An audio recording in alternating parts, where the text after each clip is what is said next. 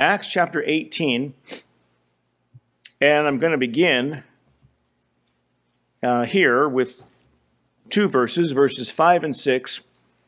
And I'm going to try to angle my way into my subject matter today. Acts chapter 18, verses 5 and 6. And when Silas and Timotheus, that's Timothy, were come from Macedonia, Paul was pressed in the Spirit and testified to the Jews that Jesus was Christ. And when they, the Jews, opposed themselves and blasphemed, he shook his raiment and said unto them, Your blood be upon your own heads. I am clean. From henceforth I will go unto the Gentiles. In three specific places in the book of Acts, Acts chapter 13, here in Acts 18, and then later in Acts chapter 28, the Jews are given a chance to believe in God by grace through faith. And they refused it. They refused it because in all three places there were Gentiles present who were eager to hear more about it. Maybe God would save them and give them a chance to repent. But the Jews rejected it because they didn't want to believe in something if it meant the Gentiles could also believe it. They thought they were better than the Gentiles. The Lord had been revealing himself to the world through the nation of Israel. And so Paul tells them in chapter 13 it was necessary that the word of God should first have been spoken to you, but seeing ye put it from you, and judge yourselves unworthy of everlasting life, lo, we turn to the Gentiles. And then Paul tells the Jews in Acts 28, verse 28 Be it known, therefore, unto you that the salvation of God is sent unto the Gentiles, and that they will hear it. We'll go someplace where people are willing to listen. You don't want to hear it? We'll go some talk to people who, who do want to hear it, are willing to listen. But it says in our text, when they opposed themselves, verse 6. You know, some people are their own worst enemies when it comes to success in life or when it comes to even knowing Jesus Christ. Some nuts in the bowl are harder to crack than other nuts are. You have to get those little plier things out, right? Paul says it again in 2 Timothy verses, verse 25. In meekness, instructing those that oppose themselves, if God peradventure will give them repentance to the acknowledging of the truth. Some people want to try and earn their salvation rather than let God save them. They'd rather work harder and not smarter. They want to do things the hard way. They get in their own way when it comes to salvation with God. Salvation is a very easy proposition, but people want to make it difficult. If, if someone says, listen, I'll pick up the tab for you, don't, there's nothing, don't say, well, let me offer the tip too. No, let that person pay all of it. If they're offering, then trust them to worry about the tip. If the waitress gets mad, she gets mad at them for not leaving one, right? Don't say, well, let me do part of it. Either they're offering or they're not offering. That might seem like a brash, rude way to deal with someone who's treating you out to dinner, but listen, if God wants to save you, let him save you. And if he's going to do so by you trusting only in the finished work of the Lord Jesus Christ and trusting in nothing else, then by all means, let him do it. Let him do it. But some people get in their own way, and that seems paradoxical. It so seems self-contradictory. So let's continue with the theme I started a few weeks ago on the paradox of Christ, and then I preached after that the paradox of the Christian. And today I want to call this the paradox of Christian living. The paradox of Christian living. Turn to 2 Corinthians chapter 6. 2 Corinthians chapter 6. And we'll start at verse 1. It says here, We then, as workers together with him, with Christ, beseech you that ye receive not the grace of God in vain. Don't just get saved and then feel secure about it and then don't do anything. Go out and live like an unsaved guy lives. Well, I got mine, that's all I need. Verse 2 For he saith, he's quoting the prophet Isaiah, I have heard thee in a time accepted, and in the day of salvation have I succored thee. To succor means to give help, to give comfort to someone. Behold, now is the accepted time. Behold, now is the day of salvation, giving no offense in anything that the ministry be not blamed. Paul uses an Old Testament prophecy about the eventual regathering and restoration of the nation of Israel and the kingdom, and he applies it to the spiritual salvation of Gentiles. Verse 4 But in all things approving ourselves as the ministers of God, in much patience, in afflictions, in necessities, in distresses, in stripes, as being beaten for it, in imprisonments, thrown in jail, in chaos, there's a lot of, rather, in tumults, that's a lot of chaos, a lot of screaming and yelling and near violence breaking out, in labors, in watchings. no, watchings was to sometimes lose sleep because you thought someone might try to sneak up and murder you in the middle of the night. You're watching. Make sure that doesn't happen. In fastings, by pureness of knowledge, excuse me, by pureness, by knowledge, by long suffering, by kindness, by the Holy Ghost, by love unfeigned. It's not fake. By the word of truth, that's scripture, by the power of God, by the armor of righteousness on the right hand and on the left. By honor, some people admire you, and dishonor, some people hate you by evil report and good report. As deceivers, hey, what's your real hidden agenda? And yet true. You don't have one.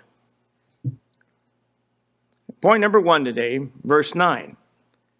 As unknown and yet well known. How can it be both unknown and well known at the same time?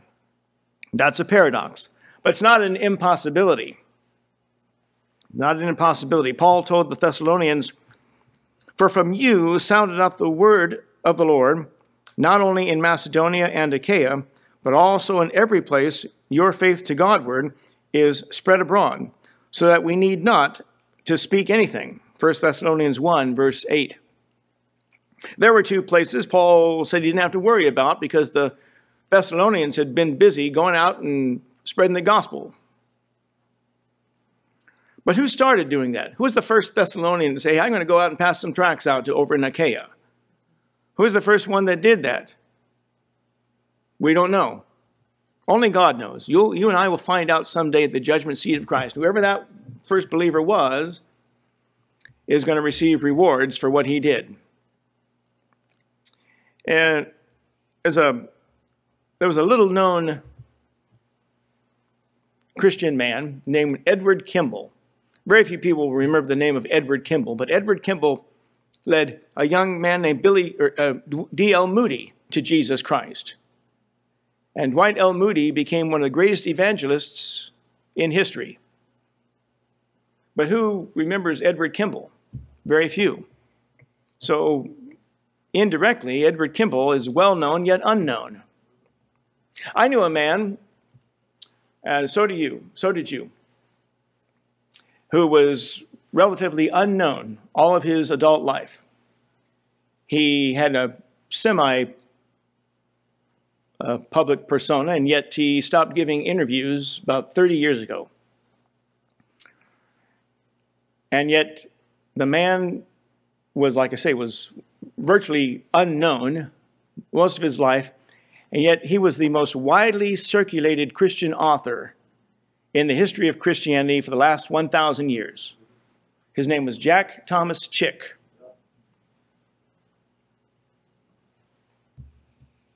Put out a billion tracks over a 60 year period, And those things circulate throughout the world in well over 100 languages. He being dead, yet speaketh. So you can be both unknown and well known at the same time. It's not an impossibility. Secondly, we're dead, yet we live. We're dead, yet we live. Verse 9, as dying, and behold, we live. Thus, attention you give to the needs or the wants of these bodies, the more alive you are in the service of Jesus Christ. That's a paradox, but it's nevertheless true. So Paul bemoans this predicament, but I see another law in my members, that is, this body, warring against the law of my mind and bringing me into captivity to the law of sin which is in my members. O wretched man that I am, who shall deliver me from the body of this death? Romans 7, verses 23 and 24. A Christian wants to do right, but he's always hit, uh, confronted with temptation to do wrong. It's a daily struggle, it's a daily fight you have to fight. You cannot depend today on whatever spiritual victory you enjoyed yesterday. Every day is a new fight. Every day is a new challenge to walk right and be upright and live according to the holiness and the holy uh, reputation of God and Jesus Christ. If Jesus, if you can't imagine Jesus Christ doing a thing, then uh, why would you want to do it? Why would you say, well, I don't have to be held to the same standards that uh, the Lord Jesus Christ lived up to, or that the best Christians I ever heard of lived up to. I don't have to be held to the same standards that the preacher at church uh, professes or that he puts into practice, or the best Christian I know at church lives up to. Why? Why are you exempt? You shouldn't be.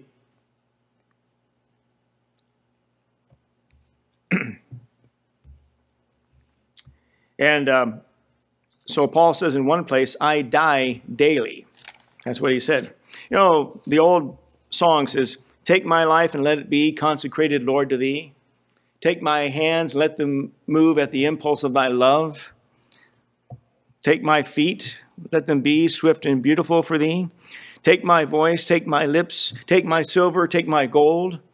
Not a mite will I withhold. Let God have everything. Let him take everything if it will bring you closer to him. If It will bring you closer to him. Give up the interests of this life, give up the hopes and dreams and aspirations that come from the flesh, and say, whatever God wants me to do, that's what I want to do.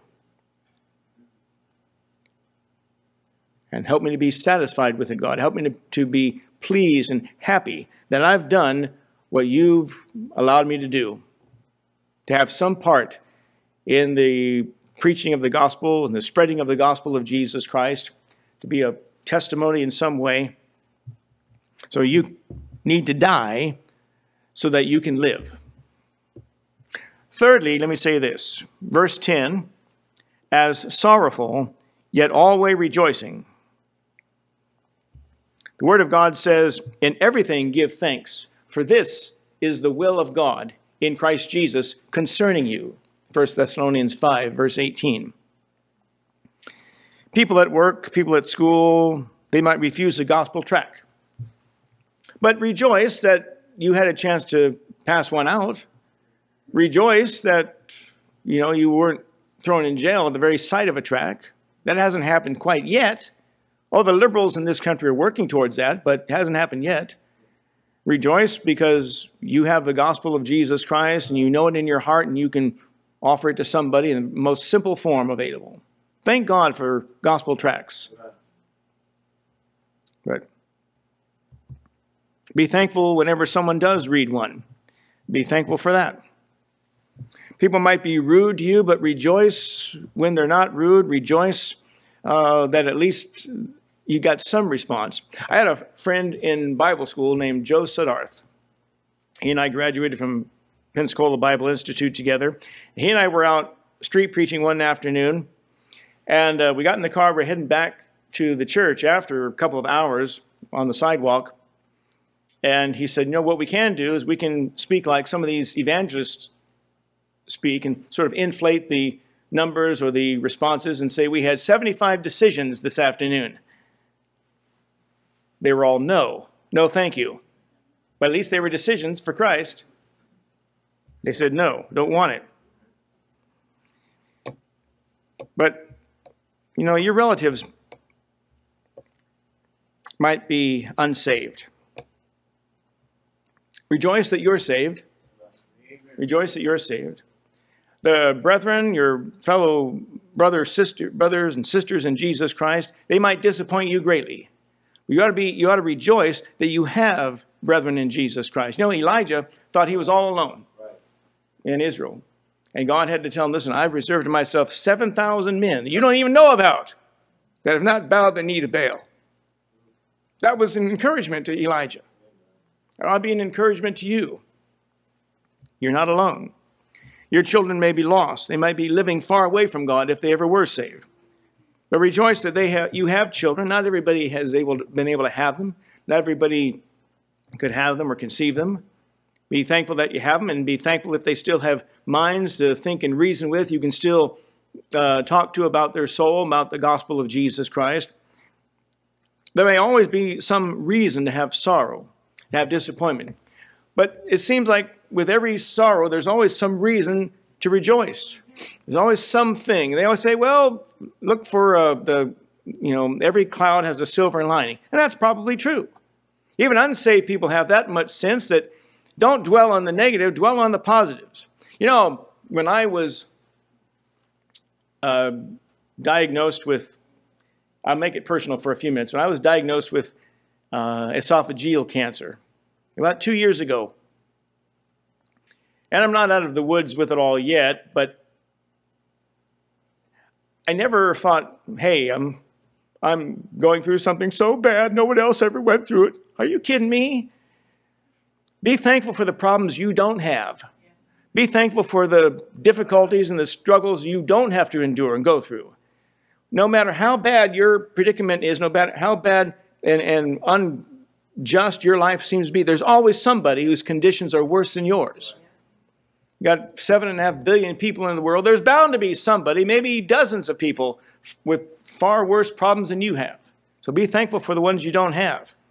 Look at it that way, and you'll receive more of a blessing than you ever thought possible. There's always some reason to be sorrowful, but along with it, there's bound to be some reason to rejoice. uh, Paul goes even further than, than saying, in everything give thanks. He says, giving thanks always for all things unto God and the Father in the name of our Lord Jesus Christ. Ephesians 5, verse 20. Rejoice in the Lord always. And again I say, rejoice. Philippians 4, verse 4. Now I want you to go forward to 2 Corinthians 12 and notice there verses 3 and 4. 2 Corinthians 12, verses 3 and 4.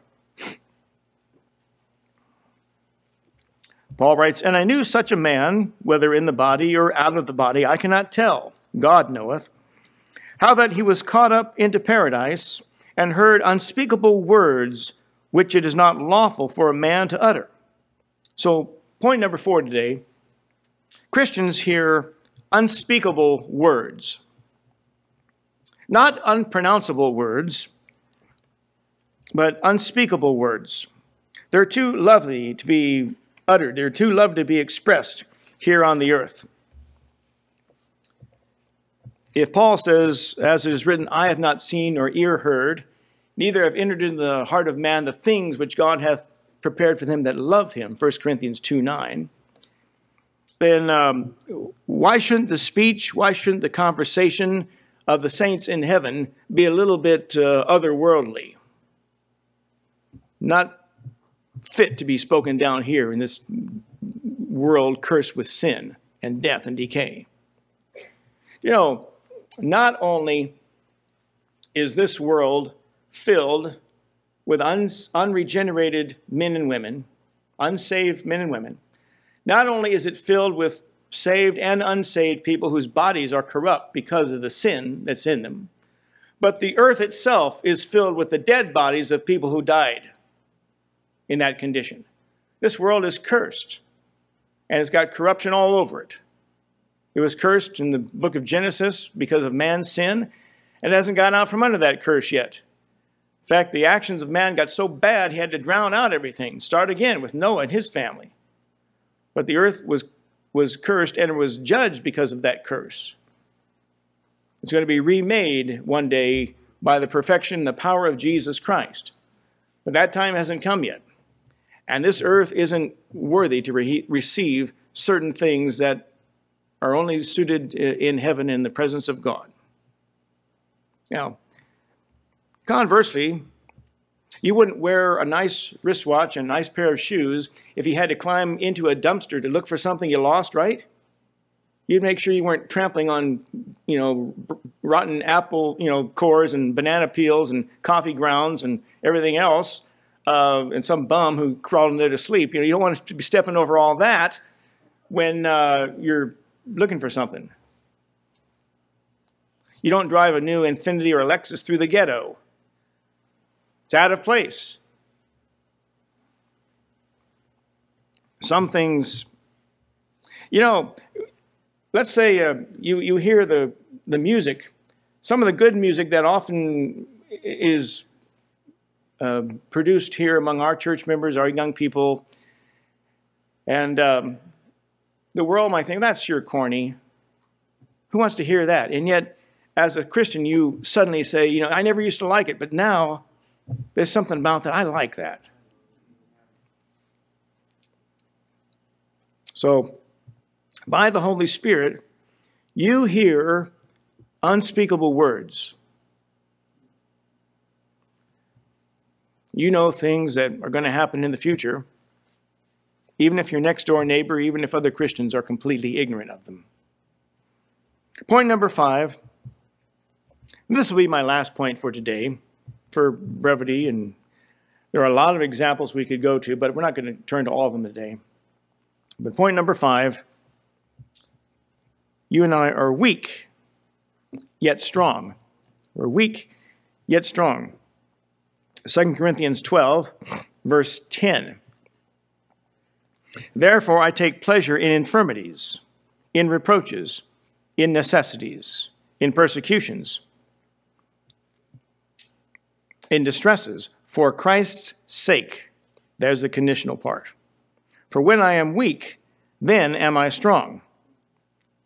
This is like the earlier paradox of dying and yet being alive.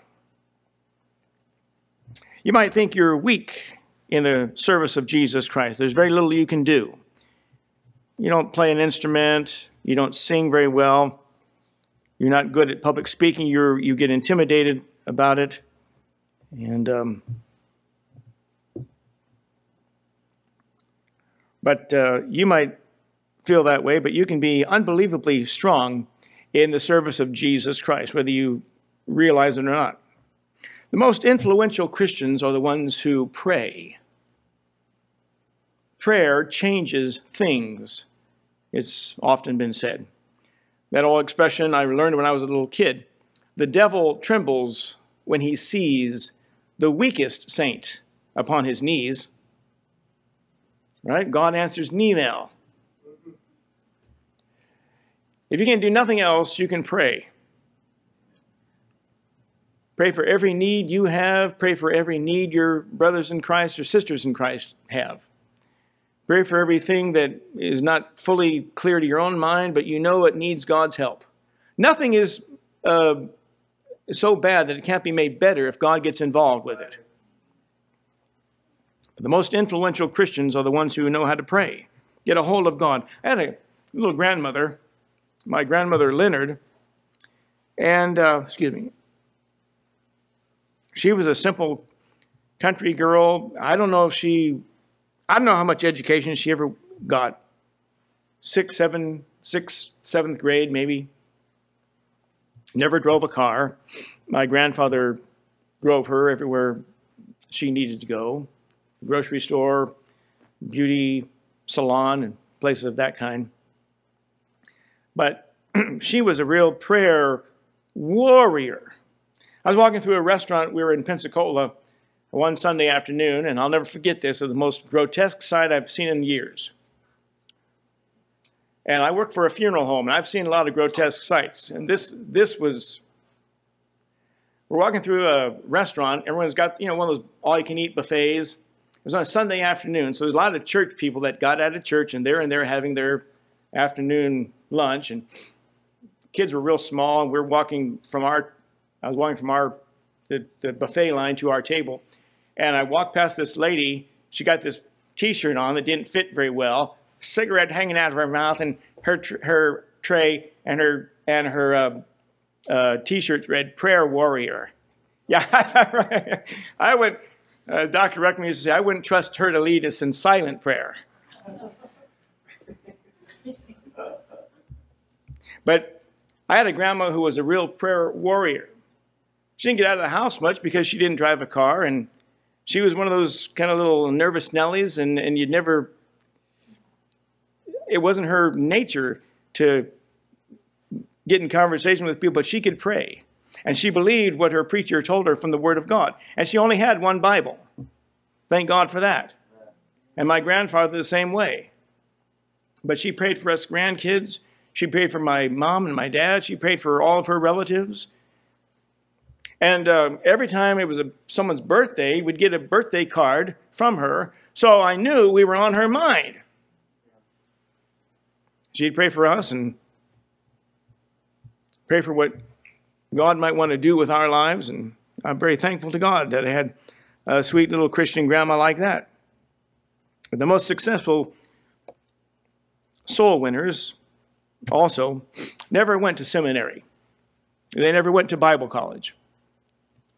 The most successful soul winners go down to the gas station. They go to the supermarket. They go to the bus stations. They go to train stations. They go to coffee shops. They go to county fairs. They go anywhere they can go uh, in hopes of being a testimony for Christ, maybe pass out some tracts or listen, if there's nobody there, leave the tract on a bench anonymously and then pray that God blesses it, and whoever is intended to get that will pick it up and read it, and it will do in them what God wants to do with it. If that's all you can do, don't think I'm an, I'm an unsuccessful, I'm an ineffective soul winner because I never get much experience at talking to people. Listen, if you dropped one track every day, seven days a week, you pass out 365 tracks in a year. Be like that Christian who was the first one to witness in Macedonia. Who knows his name? I don't know. Maybe it was one of the Christian sisters who first said, I got a relative who lives in Macedonia or in Achaia. I want to contact them about the Lord Jesus too. You don't know. Only, only time will tell, only the judgment seat of Christ will reveal the hidden things and the saints who were unknown to us and yet well known to God. I don't need the accolades of men as much as I want the approval of Jesus Christ. But the most successful soul winners are those who will go anywhere if it gives them a chance to talk about the Lord or to plant a seed. The Apostle Paul says, 1 Corinthians 3, that one planteth, another watereth. He says, But God giveth the increase. So don't measure your success as a soul winner by how many people cross the finish line and say, I want to pray that prayer with you. Once in a while, that one will happen to you. But it's the result of Christians before you who planted the first seed in that person's heart, who spoke a kind word or gave a testimony to that person about their own salvation, who told them how simple it is to be saved, who told them what a joy they, they have in life because they know Jesus Christ and how easy that person could find and could, could come to know him as well. All of those things working together lead that person to, the say, to say, I'm ready. I want to receive Jesus Christ. And you have to be patient. Listen, God, that's what's called long suffering. If God has been long suffering with you, He puts up with a lot from you, then you certainly can be long suffering in the service of Jesus Christ. I want you to turn back to the book of Ezekiel before we close to Ezekiel chapter 3. Ezekiel 3.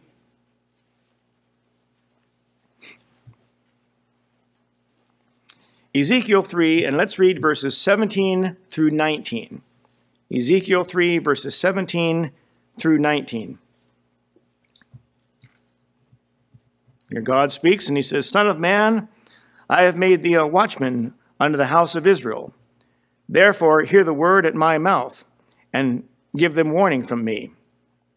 When I say unto the wicked, Thou shalt surely die, and thou givest him not warning, nor speakest to warn the wicked from his wicked way, to, say, uh, to save him, excuse me, to save his life, the same wicked man shall die in his iniquity, but his blood will I require at thy hand. Yet if thou warn the wicked, and he turn not from his wickedness, nor from his wicked ways, he shall die in his iniquity, but thou hast delivered thy soul. So Paul says in our text and to his audience, Your blood be upon your own heads. I am clean. From henceforth I will go unto the Gentiles. He said, We'll go to some people that want to hear it. We've wasted enough time, we spent enough time giving you a chance to receive it.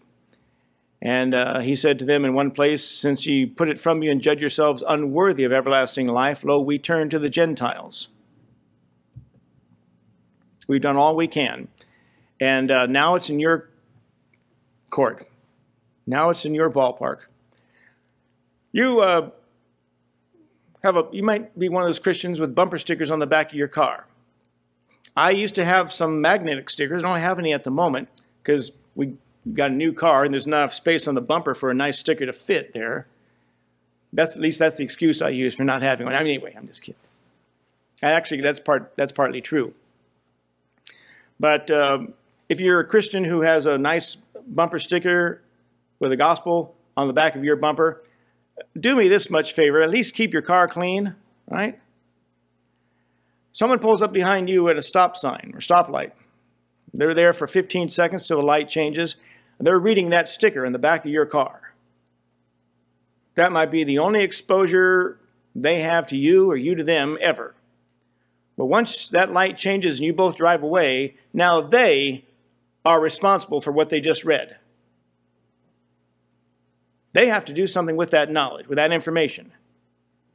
You pass out a track, it's the same thing. Now the person, if they're willing to read it, they are accountable to God. They're responsible for what they read. You've delivered your soul. So don't discount uh, soul winning uh, if all you're able to do today is to pass out tracks or leave a track for somebody. Or say, listen, find some creative ways to do it.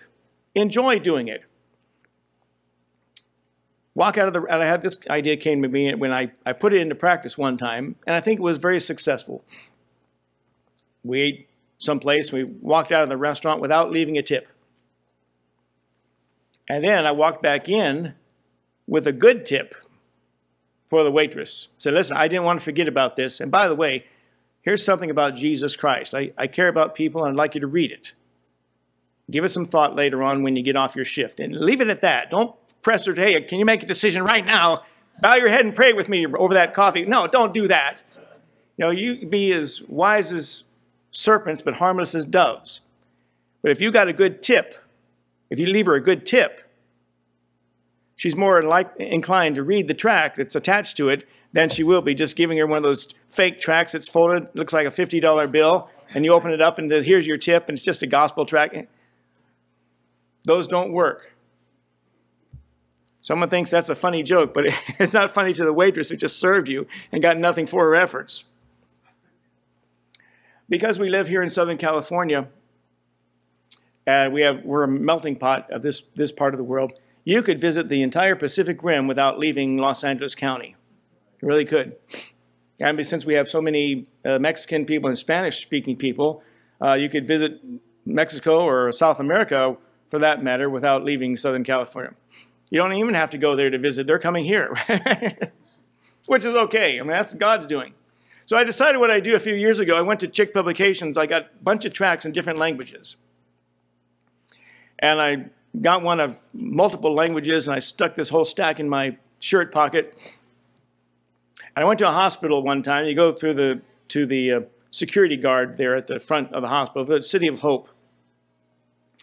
And, uh, you know, there's a Asian guy, security guard there, but he looked, his last name is, you know, Perez. So he's Asian looking, but he's Hispanic, so he must be Filipino. So I, I reach in my pocket and I put the Filipino track on the bottom. And I said, hey, I, by the way, I got something for you. And I said, no, that's Spanish. No, that one's not for you. Uh, Cambodian, no. Uh, uh, Lithuanian, no.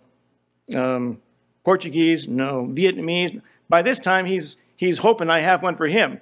So when I finally get to the Tagalog one in uh, Filipino, he's excited to take, he's eager to take it. Yeah, trick him. Paul says, I caught you with guile.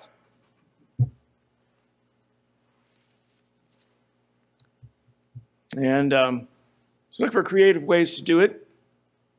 Doesn't have to be a boring exercise. It can be very beneficial, be very helpful. And uh, you need a little bit of tact and a little bit of uh, discretion, discernment at the same time you're doing it. And uh, God will, listen, if you don't pray over the track you give or the track you leave somewhere, then you don't have a great expectation of God blessing it. God might bless it in spite of you. But you ought to pray that this will come to the right person, Lord, make the right person find this and make their heart willing to read it and receive what is offered there, how that they can be born again by trusting Jesus Christ. Now, I only went through several, a few examples, not all of them, but uh, these are what I call the paradox of Christian living.